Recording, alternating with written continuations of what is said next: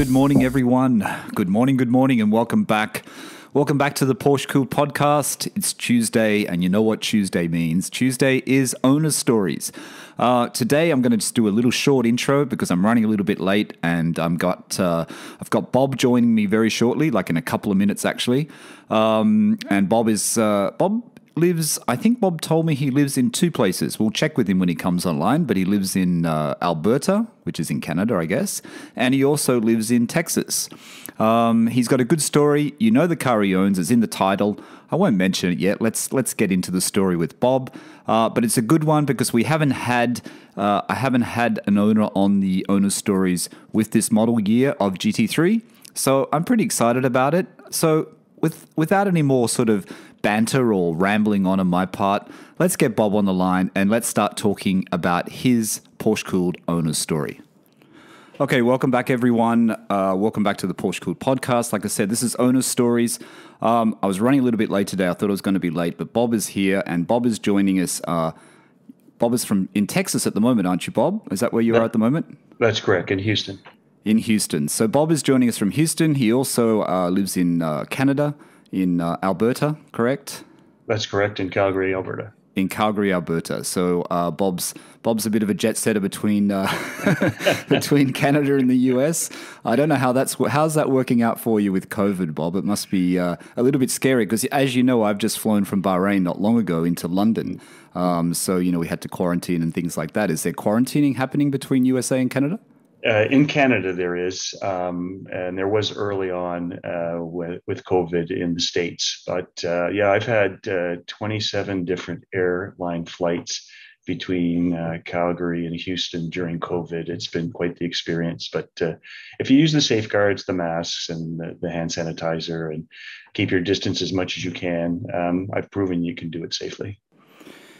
Yeah, it's a weird. Um, you know, I I have you know I used to travel four times a year backwards and forwards from London or Bahrain to Sydney, um, four to five times a year, I guess. But it, it's quite weird flying now as well because of the fact that there's just no one in the airports. I don't mm-hmm. know how the US is, but in you know Bahrain and even coming into London, it's a really weird situation, uh, a weird feeling how it's just so deserted. Yeah, it was uh, especially the early flights in uh, at the Calgary airport, um, which I had in uh, late March of last year uh, during the lockdown. Um, it was spooky uh, yeah, when you're yeah. walking through those airports. Yeah. yeah, it is definitely.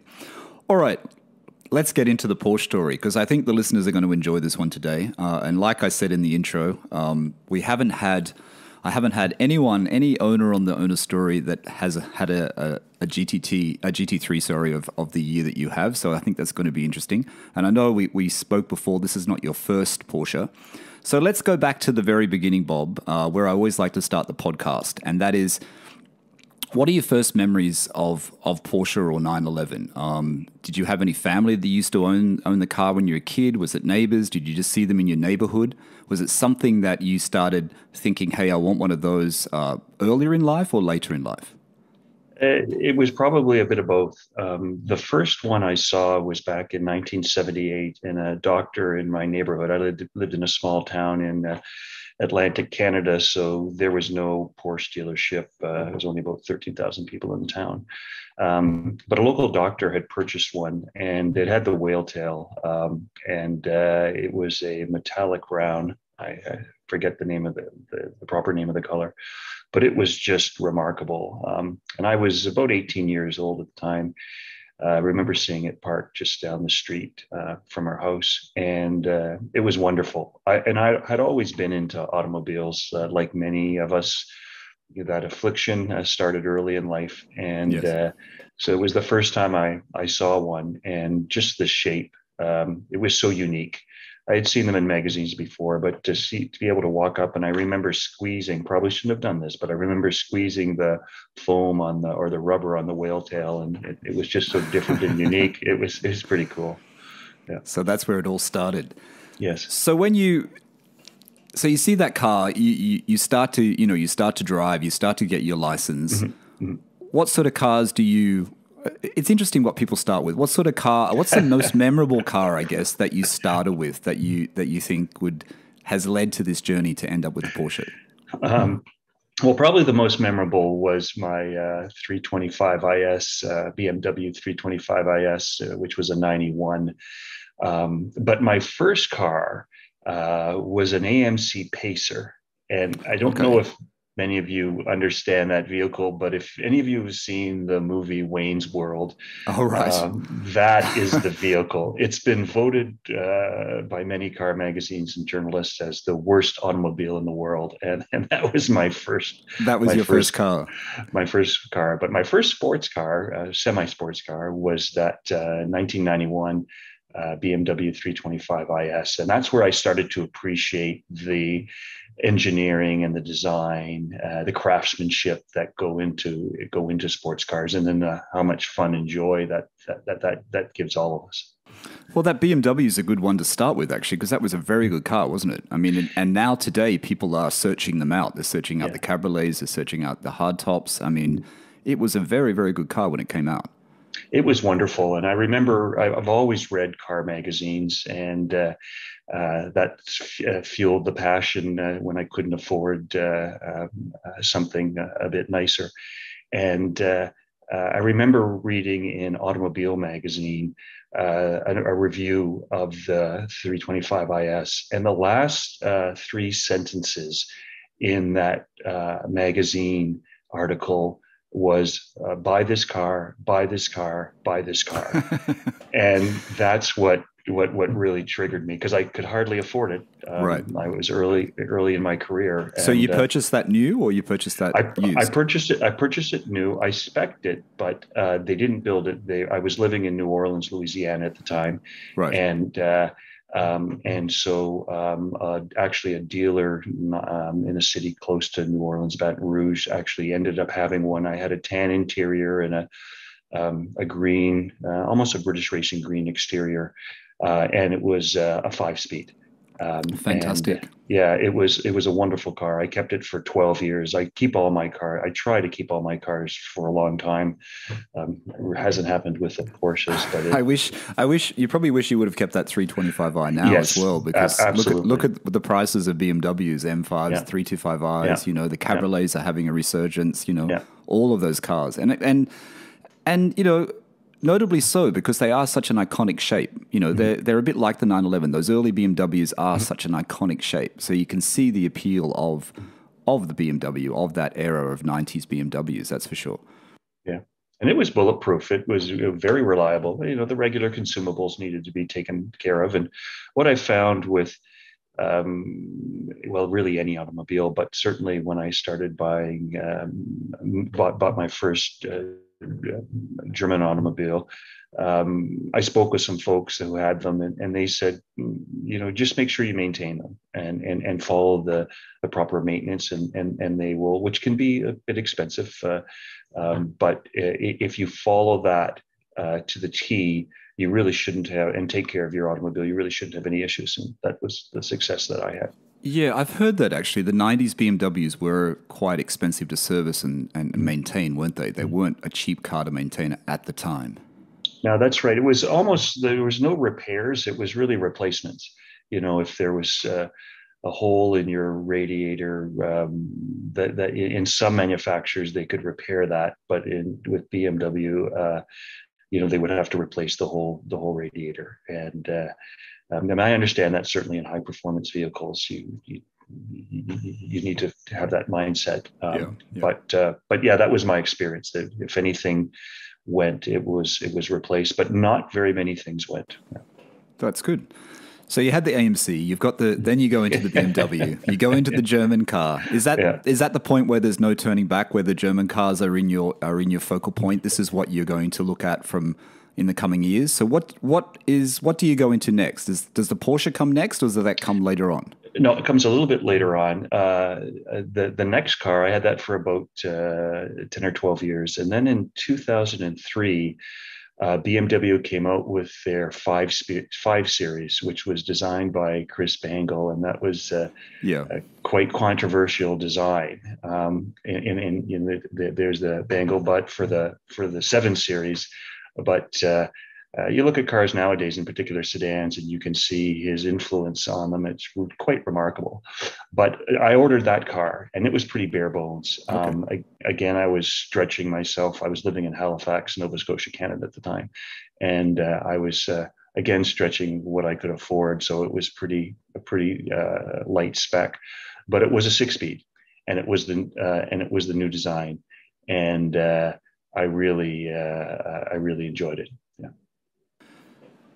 So you like you like the manual cars. You you you yeah. tend to buy manuals. You don't tend to yeah. buy the automatics. I mean, yeah. a lot of people, if they bought a five series, would choose the automatic at the mm-hmm. time. I think mm-hmm. it was probably a rare option to take the uh, to take the manual, wasn't it? Yeah, it was. Yeah, absolutely. All right, so you got the BMW. Do you keep that one for as long, the five series, for as long as the uh, three series? Um, I uh, no, I didn't. I uh, ended up uh, getting transferred. Uh, as you can see, I'm a bit, a bit of a nomad uh, with with my company, um, and uh, uh, so I, I, got transferred to uh, Milan, Italy, to do some work. And so I, I, I, I, we didn't need two cars at the time, so so I sold it. Um, and my wife had a BMW X5, so that was our vehicle while I was commuting back and forth between uh, Halifax and Milan, and uh, uh, and, I, and that was a great vehicle. The the weather in um, Nova Scotia is uh, quite bad. The winters are you get a lot of snow, a lot of freezing rain. It's right on the coast, so that it never gets too cold, but you, you get slush and everything. So it's quite slippery. So uh, uh, an all-wheel drive vehicle, robust uh, with uh, with very good uh, snow tires is, is, is what we needed. So so that's what we kept. Right. So it's practical, practical yeah. cars. Yeah. So let's jump forward. Is mm-hmm. there anything else we want to mention? Let's jump forward and let's talk about when the Porsche appeared, because I know everyone's waiting okay. for the, the first Porsche story. Was there something else notable along the way before the Porsche came? No, we're we're right right up to me coming back from Milan and deciding, okay, I've got to buy another vehicle, and what's that vehicle going to be? So there's lots and, of Porsches in Italy. You would have seen a few when you're in Milan for sure. Yes, they're absolutely. all around the place. Yes. So what happens? Let's let's start with the first one. Well, um, I was I was coming back. I was actually returning from Milan to Calgary, and uh, again uh, to, to, another look another location. Uh, but and uh, so I had to buy a vehicle, and um, the uh, um, I, I wasn't sure what I wanted. I thought I might get a, an M3. Um, I, I, thought uh, I even looked at a Ford Mustang Bullitt, uh, which okay. was a remarkable uh, automobile. Very, you know, I think it had like 350 horsepower and quite affordable. They're very affordable in North America, and uh, uh, and then I was um, on the internet just looking, and and, and there was a, a specialized dealer, not a Porsche dealer, but a, a specialized dealer, uh, independent dealer, and they had a, a 997.1 uh, Carrera 4S, um, and I wasn't, cons- I really wasn't considering Porsche at the time, um, but that intrigued me and I remember when I was in, and I you know they knew they were a little bit expensive, and I was always concerned about, you know, maintenance and things like that. And and uh, and then I remember seeing one in Milan and and and in in the downtown parts of the the city. There's tons of uh, cobblestone streets, and I remember seeing it uh, zooming down a cobblestone street uh, on it with a tram line, you know, the rails in there. And I was thinking these cars are built for it. Yeah. And, you, know, and, and I had always heard that they were reliable and everything, but that kind of, when I thought about that and it had the all wheel drive, uh, it was a six speed. Um, I, uh, I, I bought that car and it was, uh, it was a wonderful car. I, I set, uh, bought a set of Pirelli Sottozeros uh, for it, winter tires, and I okay. put them on the turbo style wheels uh, for that at the time. I think they're five spoke, and there's the, the spokes are differentiated three each, I think. And uh, uh, with slots. And yeah, it was just a wonderful car. It was a, a, a seal gray, I think, was the seal gray is a nice color. I was going to yeah. say, you're seeing it on the streets in Milan. It, it must yeah. have looked very wide that 4S in, in some of those streets in, in yeah. Milan when it's going around. That's for sure. Because that's the one thing you notice in uh, in Europe. The size of Porsches, they seem very very big. They seem very very wide. I remember seeing a 992 in Porto a couple of years ago. Mm-hmm and uh, first one I saw actually on the bridge there, and it was just it just looked enormous. It looked so so huge in yeah. in, in, that sort of uh, environment. So you've bought the 997. Uh, mm-hmm. You know I'm a fan of the 997. I've been mm-hmm. in a Carrera 4S. A friend of mine in the UK, Nick, who's been on the first owner stories, yes. has a mm-hmm. black one, which is a mm-hmm. great car. Mm-hmm. I love it when you're sitting in the seat and you look through the rear vision mirror and you see those wide flanks, like you really know you're in a Porsche. I mean. Yeah as a first experience, it must have been uh, it must have been pretty amazing for you to to drive that car the first time. It, it was it was remarkable, um, and uh, we took it uh, uh, to the mountains, which are uh, only about forty five minutes from Calgary, uh, the Rocky Mountains, and uh, some of the roads there are just amazing. Um, you got to keep your eye out for wildlife, but uh, it's just spectacular driving area, and so I really enjoyed it there. But then I also started taking it to the track, and oh, okay. and that, and and that's where you can really um, appreciate the engineering and the craftsmanship uh, and the design that goes into these vehicles. All right. So, had you been to the track before that, Bob? Had you actually taken any t- of your previous cars to the track? No, I hadn't. No, you hadn't. That was, it was my first time. Yeah. And when you bought the 997, it's a 0.1, right? What what year was that? Sorry, I, I missed. That was a t- 2006. 2006, and you purchased the car in uh, 2009. 2009. So it's a pretty yeah. new car. It's only three years old. Yes. Um, the IMS thing would have been on the surface then. Was mm-hmm. that a concern for you when you purchased the car? Because it's something the listeners are always interested in about how you go about feeling comfortable with that issue. Yeah, it, it was, but you know, uh, the research that I had seen was, you know, it had popped up, but it was the likelihood that it would with the vehicle that you own is, you know, is pretty slim. I wasn't sure. I know I think it was the 2006, sometime during this 2006 production, I thought they had changed the size. Or yes, that's the same as my 997. Yeah. It's got the larger bearing. Yeah, yeah, yeah. And and, and I I wasn't certain. I didn't have enough. Uh, uh, intelligence, I guess, to figure out which one I had or, or, or search it down. But um, I just assumed that, you know, yeah, it's likely remote. It wasn't big. I was so it wasn't a big concern. I was so enthusiastic about the car that, and it was working well. I had it PPI'd before I purchased it. Okay. Um, and it was from a reputable dealer. The, the, the, independent dealer in Calgary is is still going strong now, and he's just got an incredible stable of automobiles and so great reputation. And uh, so, yeah, they were, you know, I, I wasn't too concerned. Right. Okay, that's good. So it's 2009. You buy this. Uh, you buy the 997. Was it mm-hmm. a, a you said you were worried about Porsche in the beginning due to maintenance and upkeep. Yeah. Was it a reasonably uh, inexpensive car to own? Was there anything major that happened during your ownership period? No, there was there was nothing major. Um, the the only item that ever um, uh, I had an issue with was a water pump, and and it had a leak on a water pump. And again, I kind of consider those consumables over time. Uh, everything mechanical wears out, and uh, by that time, I had taken it to the track several times and so that's an awful lot of ex- extra wear and tear on that particular vehicle, although they'll bill for it. But, you know, I had it probably at the track six or seven times. Okay, so you, are taking it to the track. Mm-hmm. Before you started taking to the track, and this is something that always comes into our minds, mm-hmm. were you worried about future value? Were you worried about that, you know, something might happen, or when I sell no. it, I'm going to have to dis- disclose this? Were you worried yeah. about that sort of thing? Uh, no, I wasn't. Um, I, I, was, uh, you know, I, I recognize that, that that's going to have an impact, and I'm going to be honest with anyone um, that, uh, that that would get the car. I would never hide anything, um, and uh, uh, but the way that I look at it, and it's part of the reason why I daily drive my GT3, is they are they can be expensive, um, um, and uh, but to get the real value out of it, to really enjoy it, um, you have to use it. And, yeah, and good point. And at least from my perspective. And so the actual cost from my perspective, if if, if I put 100,000 miles on my GT3, is the, at the end of the day, that's actually quite affordable. Yeah, I, I, have to agree with you, Bob. I'm starting to think the same way, and I was probably on the other the other field, the other side, um, where I thought it was better to keep the miles down, not get too many miles on the car, keep the value, and I think. because I have been overseas now for so long and my car's still in Australia, I think this is why I know when I go back, I'm going to do a lot of long trips. I'm going to drive it. I'm not going to worry about the miles or the kilometers anymore.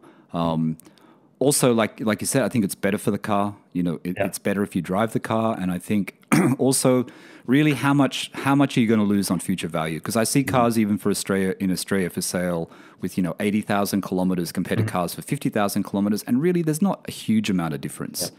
You know, so I think for the cost per mileage or the cost per kilometer, it's not that much that you're going to that you're going to lose. And then the enjoyment factor on that other side of it is worth it, isn't yeah. it? I mean, it's a balance. Exactly. Yeah. Exactly.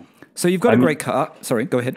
No, I was just going to say I'm a little bit later in life, so things like that become very important. The value that you get out of something, the use that you get out of something, time is so precious, um, and uh, so, so, that's why I uh, that's why it, and Porsches they're so much fun um, it just you know I drove it to work this morning, and uh, I mean I'm driving it now. And uh, I, know, I want to I want to get into this very quickly because I'm very interested about this you know, yeah. daily driving in GT3.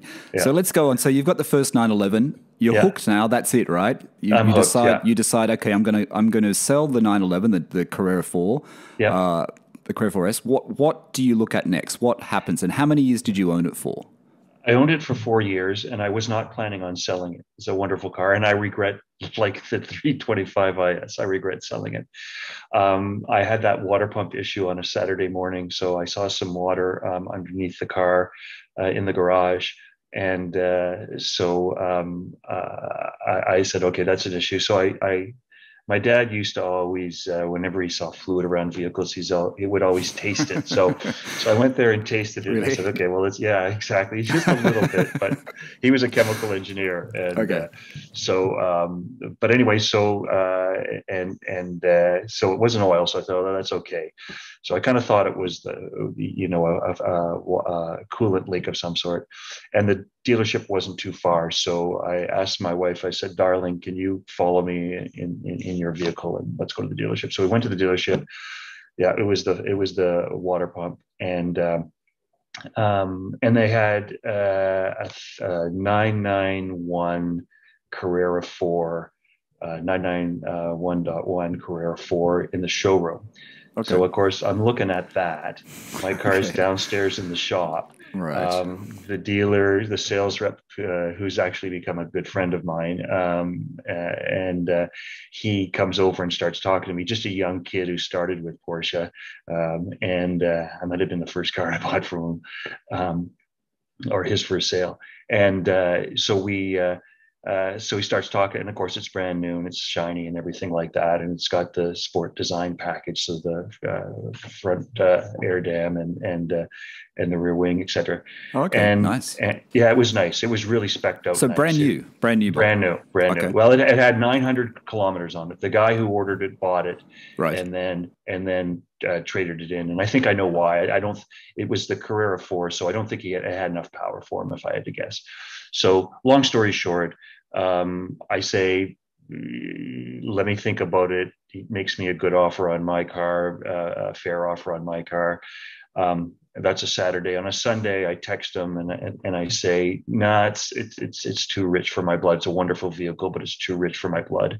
And my wife was, uh, at that time had on Sunday had to leave, uh, travel. So so anyway, so we talked later that night, and she says, "What did you do?" She said, "You you love that car. The, the, the you love you you love that new car when you saw it. I saw it." And and so she said, "You know what? If you really want it, um, yeah, text him back." And and so I did. So my wife actually pushed so me into the nine nine one. So yeah. so a reasonably quick decision. So very quick. So yeah. what?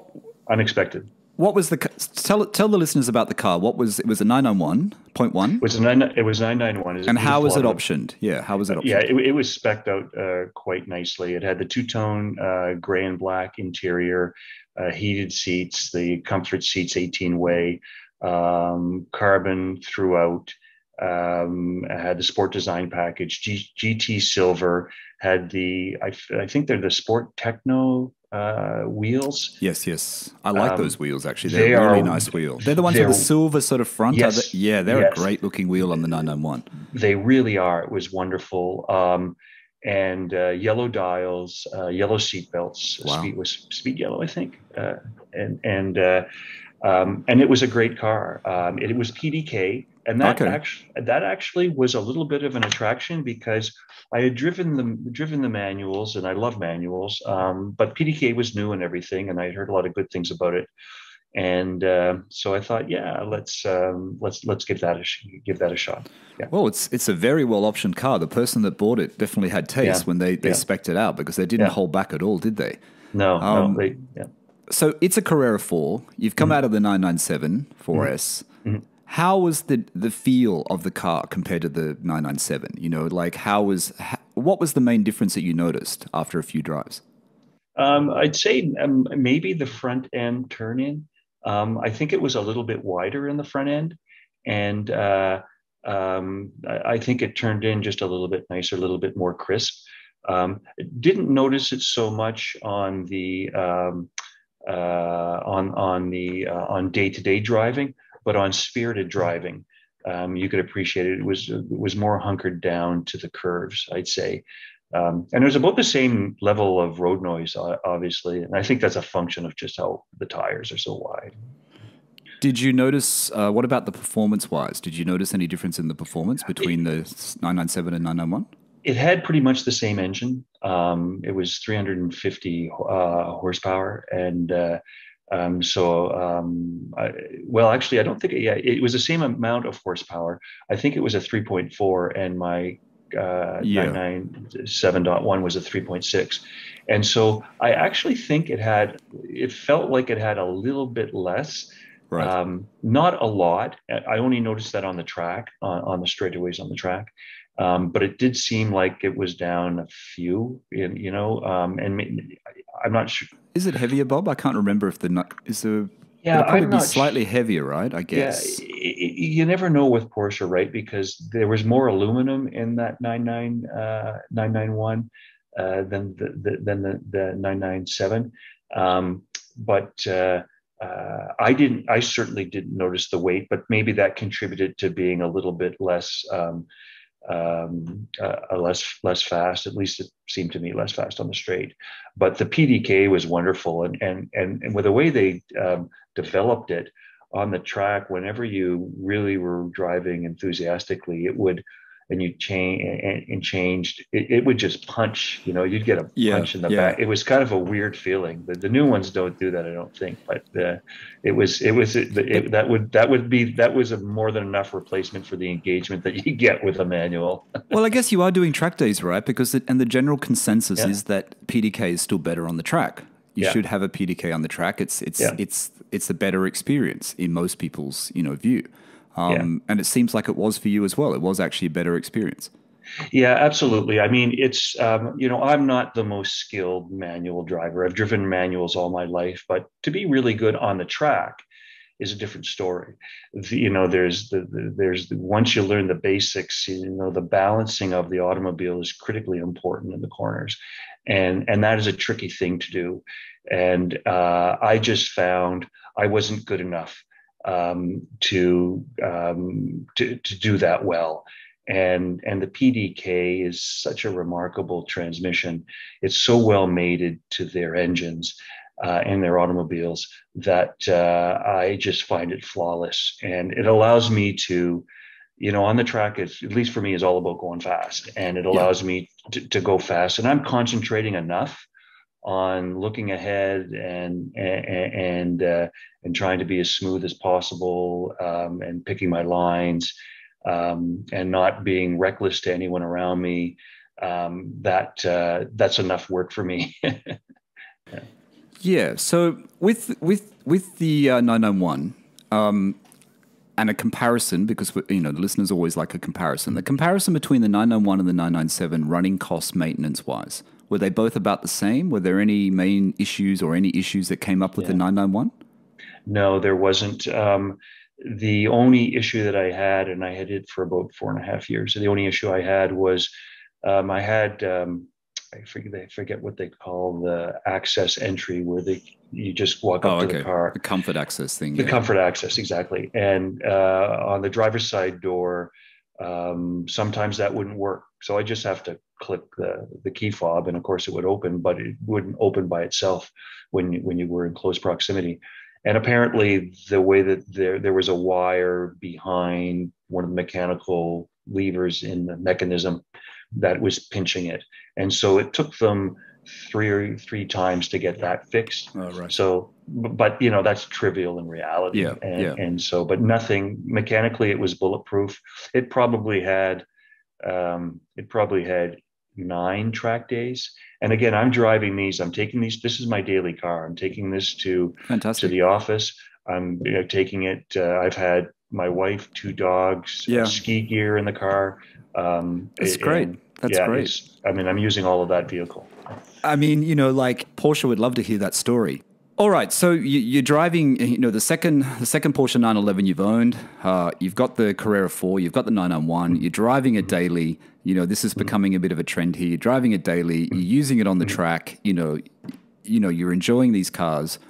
What happens to the 991? How long do you own that car for, and what do you start thinking about next? The um, I'm enjoying the 991. It's a wonderful automobile, uh, and uh, uh, I have no plans on on doing anything with it. Um, and uh, uh, then um, I see if you've uh, I see the 991.1 GT3 come out, um, and I'm thinking, oh, geez, that that, that would be pretty nice. Um, and uh, uh, but I, um, you know, I there's always something new, more new and shiny, um, eh, or newer and shiny out there, and so I, I want to live within my means, and so um, and I'm getting sort of all sorts of enjoyment out of it, out of the 991 um, C4. So, um, uh, but I'm always on the Porsche configurator, just playing around and seeing the new products and everything, and then the 991.2 GT3 comes out and that seems to be a step above. Um, Yeah. a- a- and uh, the new engine, um, not that the, the the Gen One or anything to sneeze at, they're wonderful automobiles, um, but certainly uh, everything seemed to resonate with me with the 991.2, and I'd always. You know, I'd, I'd have the dealership. Um, I did take my vehicle to the dealers all the time. Um, for uh, you know changing the tires and uh, from winter to summer and that sort of thing and so just the routine things and i developed a relationship with them you know I, I, I did not buy many cars from them so getting an allocation was going to be very difficult um, but i was fortunate enough to get one and and i think part of it was because i'm an enthusiast i'd send them pictures from the track I was uh, fortunate enough to go to Nurburgring, and and I would uh, send them pictures Okay. of the the little uh, uh, uh, Suzuki Swift that I drove over there. Okay. Uh, yeah, from and and uh, um, so that's how that's how I got into it. Before we get into the GT3, I just want to go back about the dealer experience. and I did talk about this on a previous um, podcast. What is it about for you about going to directly to a Porsche dealer instead of a Porsche specialist? Is it because your car is under warranty or you just prefer the direct relationship with, with Porsche and with a Porsche dealer? It, it was it was it started off because the car was under warranty, uh, but then when it was out of warranty, um, I, I think it was it, it was just the the in in the areas where I live, the specialists were not that less expensive. Okay. um, and and so it was uh, it, it, it, it was it, it, and I did want to continue that they, they work on the car they've got the most updates from the manufacturer. And and I just for- me it was it, it, it wasn't that much more expensive. The uh, labor per hour was was about the same Okay, okay. Yeah, because in Australia, I mean, a lot of people use specialists because they are quite a lot cheaper to the to the Porsche dealer. Um, for most things, not everything though. You know, most things, but not everything. So you you decide that you want to buy a GT3. You want to buy the 991.2 GT3, which is a fantastic car, whether it be in PDK or manual. They're both a fantastic car. Um, Porsche just made that that just that little bit better. They fixed up the problems with the engine. Mm-hmm. You know, they they tweaked a few things here and there as they always do, making us always want the newer model. from when you ordered the car, Bob, to when it was delivered, how long did you have to wait? You said you were lucky to get an allocation, and we all know now with the new GT3 as well, the 992 GT3, you know, the allocations are going to be impossible to get. So how did how long did you have to wait before the car was actually delivered?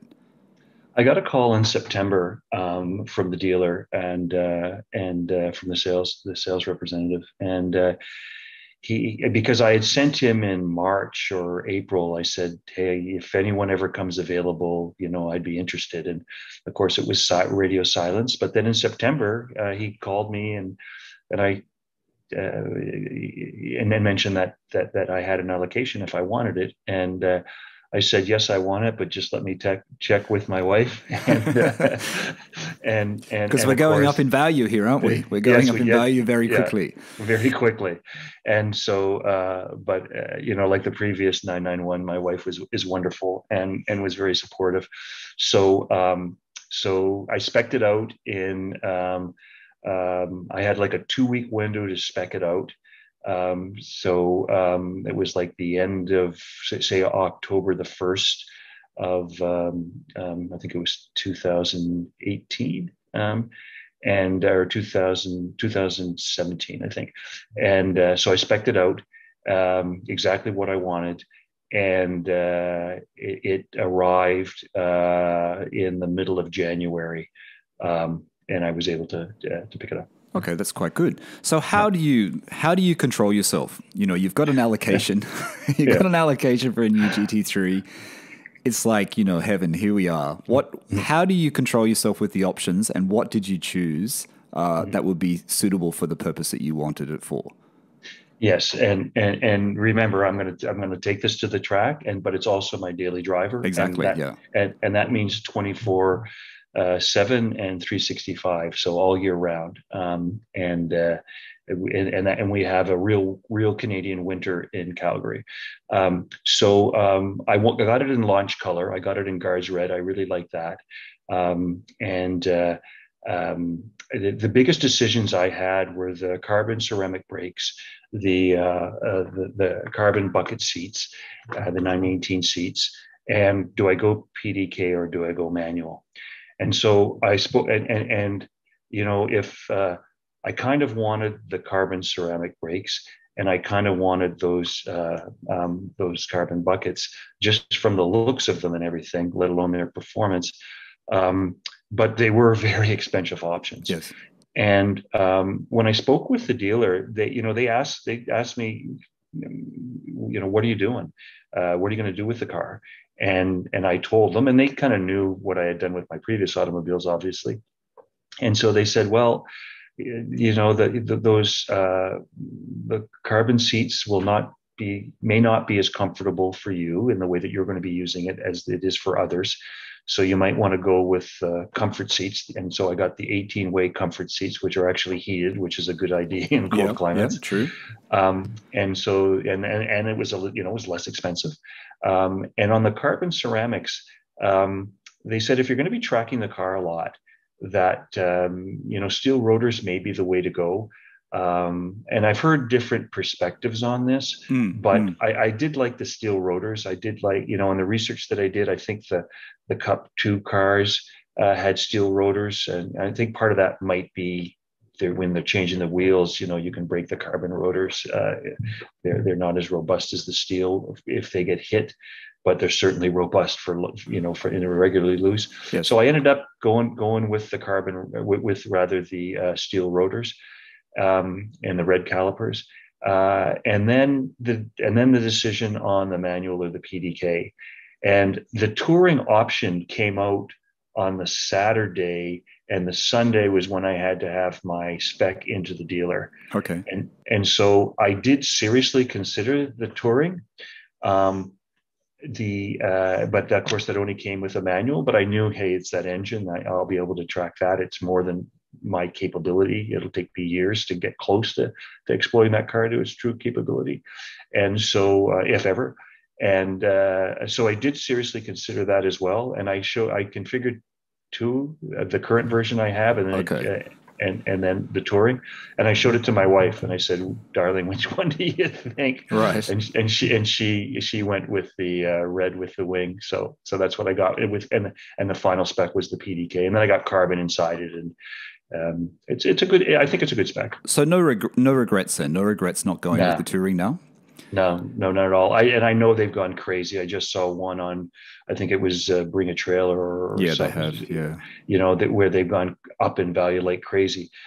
But again, with me, it's about what I use the car for and and what I enjoy it. And I know, you know, 500 horsepower is a lot a of lot. horsepower with a manual. Yeah. If yeah. in particularly on the track, if you're a good driver and that yes. and that's you know and can handle it that's fine uh, for me uh, just for me the pdk is the way to go it's matched so perfectly with that engine yeah. I agree with you, actually. I, I, tend to think that even the 991.2, and a lot of people say the manual is sublime, the manual's perfect in the mm-hmm. 991.2. But I think with the power that you're getting now, um, really maybe PDK is the better option. Do you know what I mean? Mm-hmm. Like the GT3 yeah. RS is in PDK for a reason. Mm-hmm. You know what. I mean? The GT2 RS yeah. is in PDK for a reason. The new GT3, I don't know whether you would spec the new 992 GT3 in, in manual. I think you'd I think you'd have to go PDK. I don't mm-hmm. know why I think you'd have to go PDK.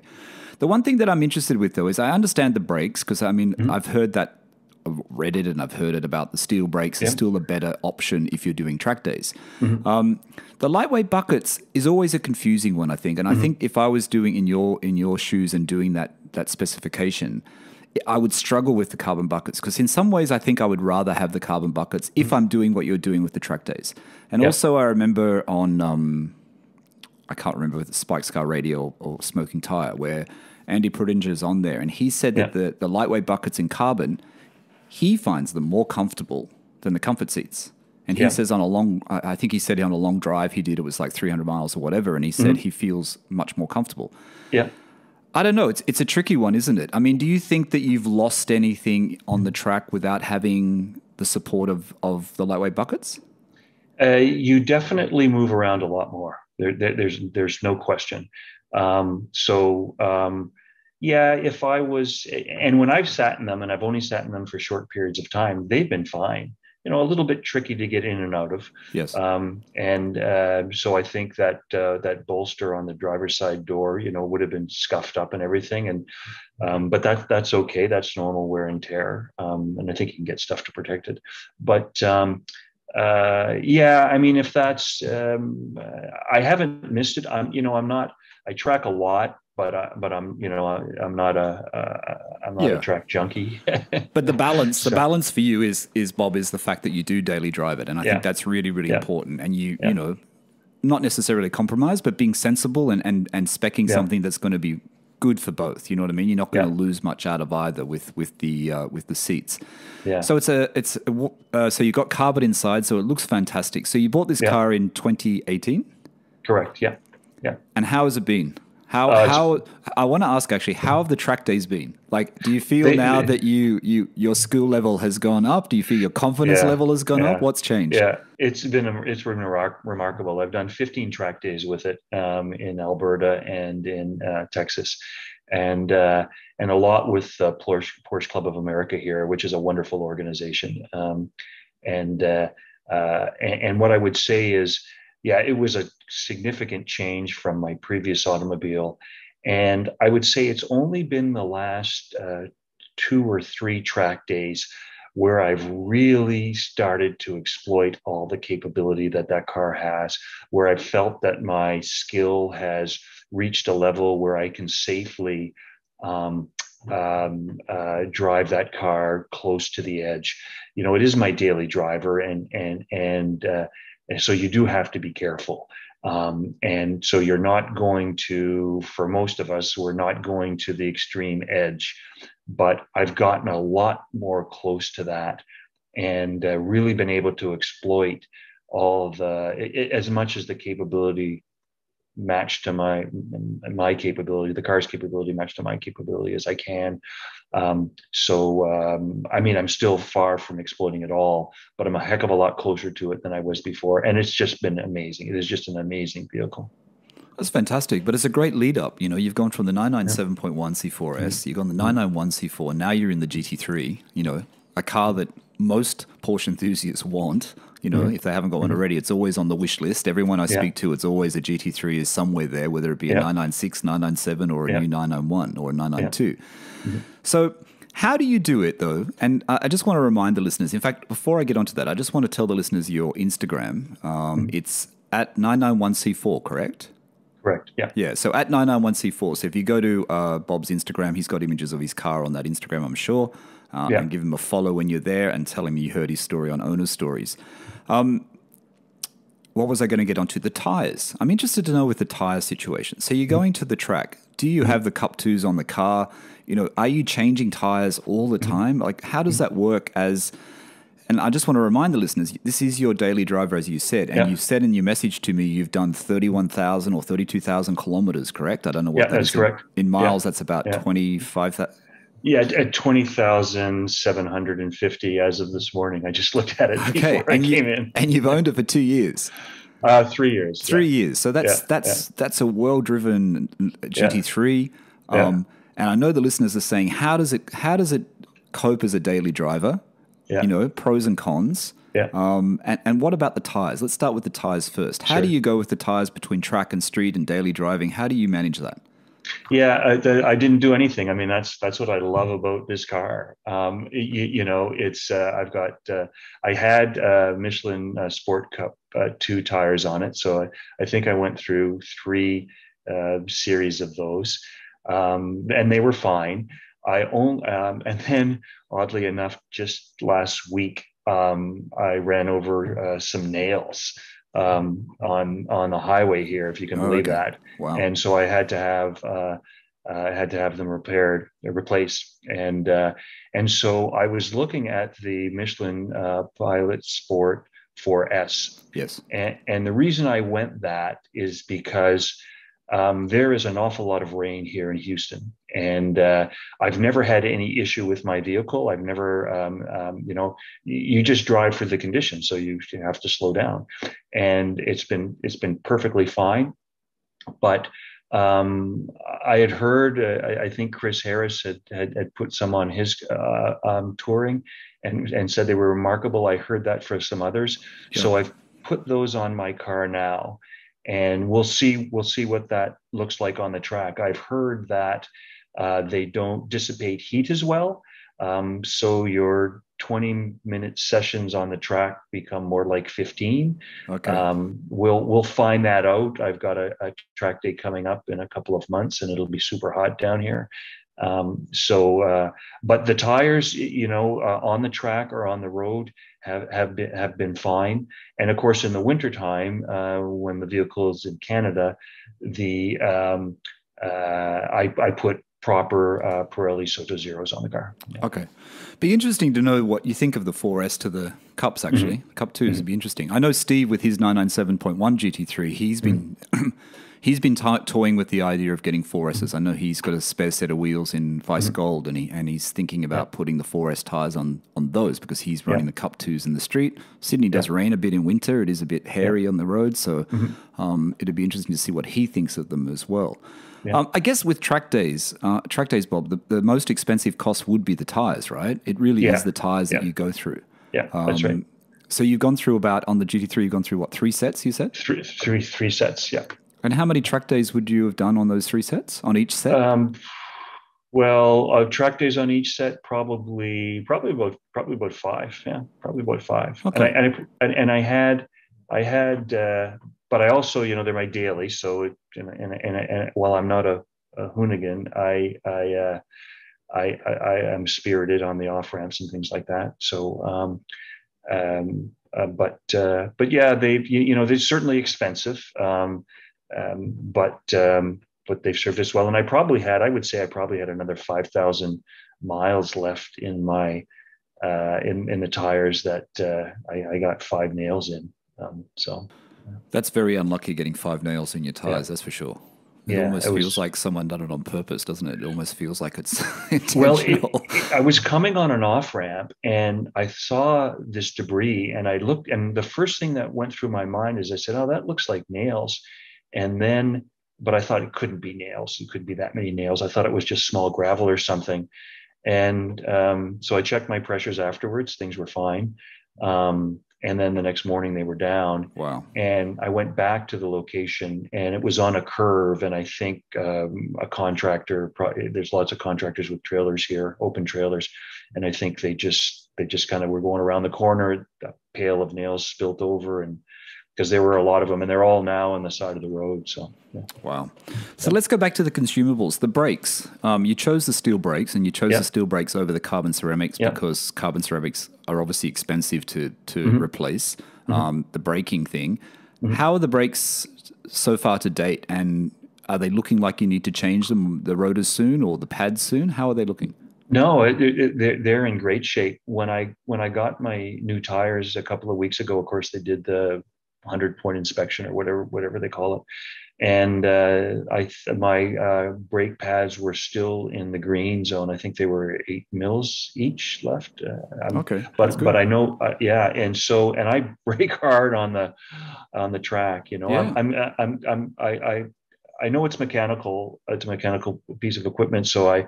You know, other than the track, I treat, treat it with a little bit of sympathy. So I'm, I, I don't brake hard on the street so much. Um, um, and uh, unless I'm doing a little bit of spirited, but no, they've been they've been fine. Absolutely. Have they been better than the previous cars on the track with the brakes? I'm just wondering about the. Uh, yeah. and I'm sort of going off tangent here, but I'm wondering about the compound they use on GT3, what the brake pads are. I mean, I'm guessing they're a more high performance brake pad than, than usual. Yeah, I, I think they are. Um, there's certainly a little bit more squealing, but that, that, that to me, that's motorsports. So I love it. It doesn't bother me at all. And uh, um, yeah, I'd say that they definitely have a bigger bite than uh, the Carrera Four. And remember, the Carrera Four had you know had had had small brakes. Um, I still had the uh, on the on, on the Carrera 4S. It had the the big reds. Um, but uh, but yeah, the brakes, the technology has definitely moved on. So um, the GT3 maintenance. Let's go back onto maintenance. Let's just mm-hmm. go into the question that everyone mm-hmm. wants to know. Uh, and you've owned three three 911s now. Mm-hmm. How are the maintenance costs on a GT3? Is it what people expect where they think I'm going to buy a GT3, it's going to cost me so much money every year? Has it been exorbitant? No, Has it been no, okay? It, it's it's been absolutely fine. It's been it's been reasonable. It's just like another uh, 911. Um, to be honest, you know the most ex- the biggest expense and it's self inflicted are the tires, um, and uh, um, uh, but but the other you know the oil changes i had the major service last year. I think it uh, i think it's around 15000 miles or maybe it's two years whatever comes first. But, but uh, regardless I, I had that done um, where they change out the spark plugs and do a few more things uh, and and that was about $1,500. So it was a lot less expensive than I thought it was going to be. So, I mean, they're not inexpensive. You have to sacrifice other things um, to like, you know, there's always trade offs in life. Um, but uh, yeah, it, it's it, it, has not been. I haven't noticed it more than my other cars. That's good to know. Good to know. So, daily driven Let's go back to the weather. Let's go back to the weather yeah. in Canada. Daily yeah. driven, and you said in your message to me, you know, minus 27 degrees, you daily drive this car on snow, snow and ice roads. Now tell me, how do you feel when you're driving this car on, on with that much power in the snow on these icy roads? It must be a little bit hairy. It must be a bit scary yeah, you you you definitely have to be be cautious and and uh, uh, you know there's not many silver bullets in the world, but when driving, if you drive for the conditions, if you slow down, um, you can you can do it safely. Um, the uh, but you have you you have to be careful. Um, you, you, know, and uh, um, but I was it was amazing. I was driving into the office in in Calgary, and I looked, and it was one early morning, and uh, it was still dark out and the temperature was minus 27.5 and i'm thinking what a remarkable vehicle it can operate at minus 27.5 and then also operate at plus yeah. 35 plus 38 and it's still the same but uh, you just slow down make sure you have good snow tires obviously it's a very low car and so if you have a lot of snow on the road then you probably shouldn't be driving it. You're going to run into issues because it'll pack up underneath.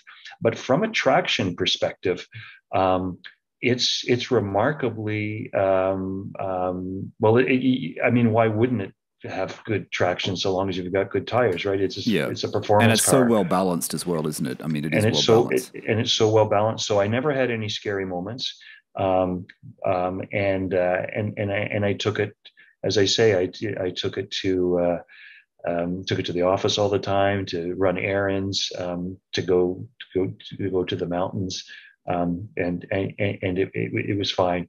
There only one time um, we have an alley in, in, in the back of our house where our garage is, and it's not the snow's not removed from that alley, so it piles up and gets thick. And I was coming home from work one day, and uh, and then, and long story short, I got stuck.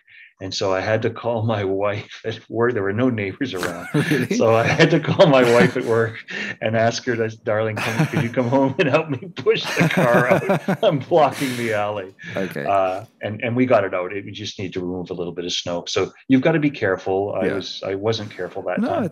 I think it's great. I think anyone listening now who is scared of driving the 911 in the rain or scared of driving it in extreme temperatures, I mean, you just prove that it's possible. You know, the, the range in temperatures you've driven your car, you Yeah. know, and as you said, you've got to be careful. Like, anything can get twitchy in those conditions, no matter Yeah. what car you're driving. It doesn't have to be Yeah. a 911, does it? Yeah, Uh, and you absolutely. could have got, and you would have got stuck in that back lane of your house in in any car, really, in that sort of snow. Yeah, Unless exactly. you're in an SUV or something.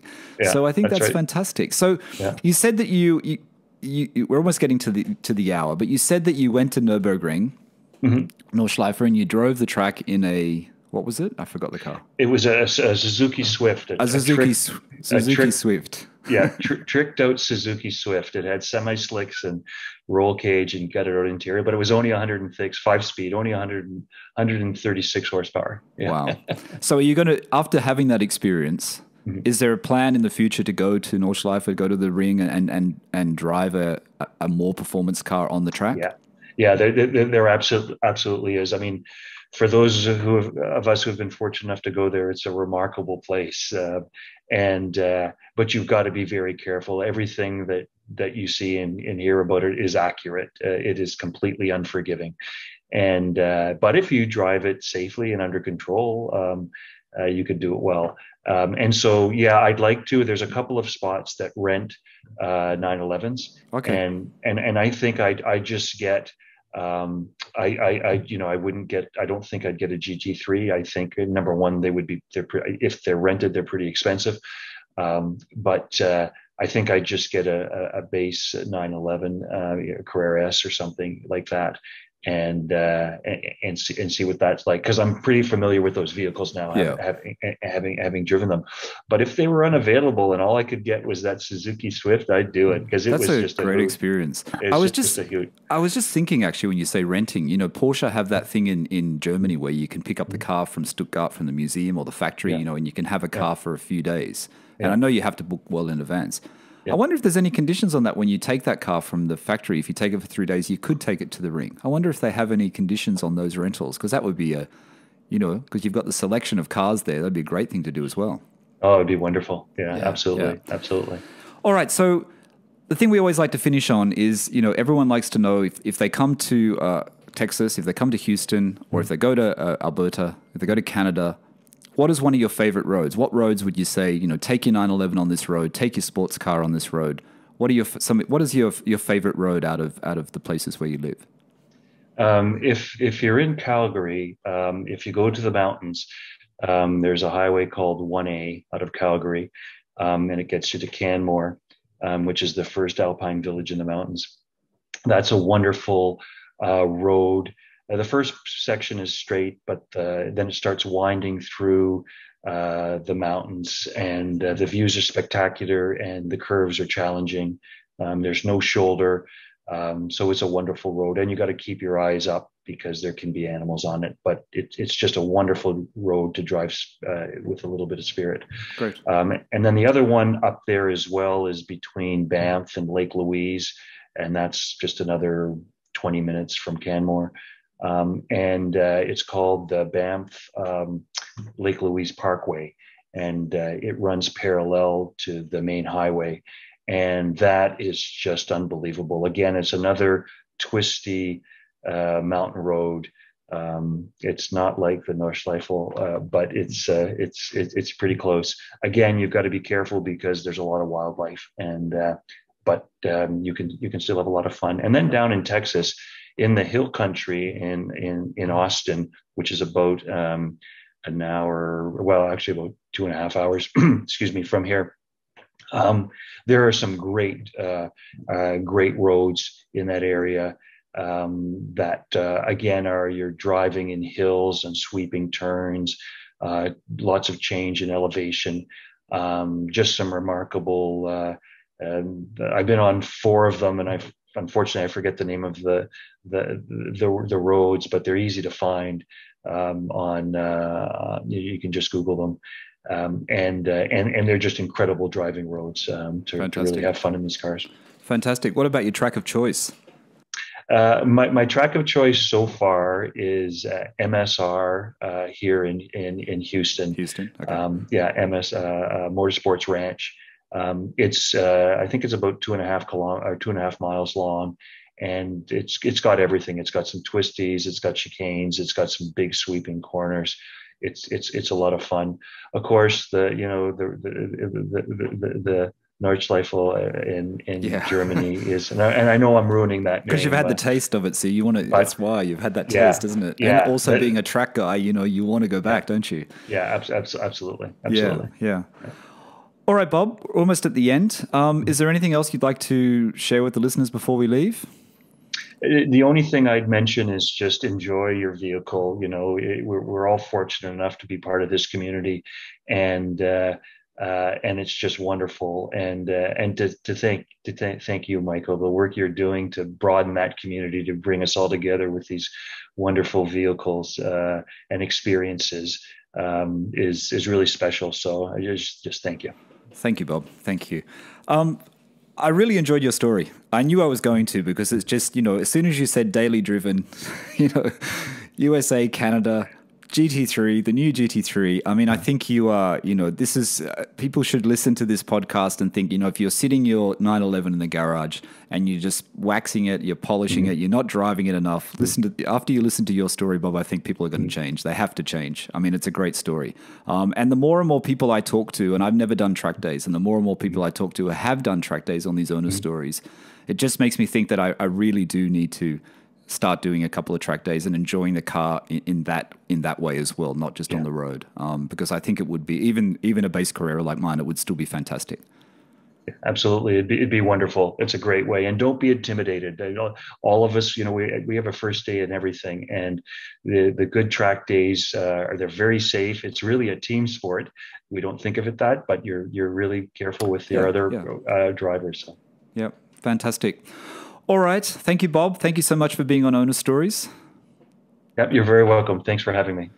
All right, everyone. That was uh, Bob coming in from uh, Texas, actually. He's in Texas today. Um, and Bob, you make sure you give him a follow on his Instagram. His Instagram is at 991C4, at 991C4. So go over and, and follow Bob and say hello and, and tell him you've heard his story. Um, and that's it for today. Thanks for listening. Bye for now.